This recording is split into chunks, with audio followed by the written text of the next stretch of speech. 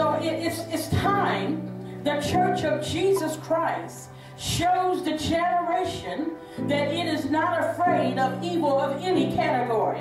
Amen? Because we have authority over these demonic spirits. Amen? And we don't have to be afraid of them because God has fully equipped us, amen, to take authority over them. Every morning I take authority over Satan. I bind him and all of his demons.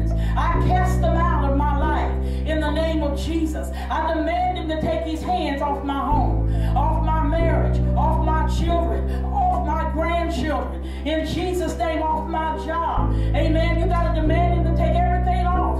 Off, off that man, take his hands off and everything that belongs to you this morning, off your finances. Amen. That's how you walk in your authority. You got to use the name of Jesus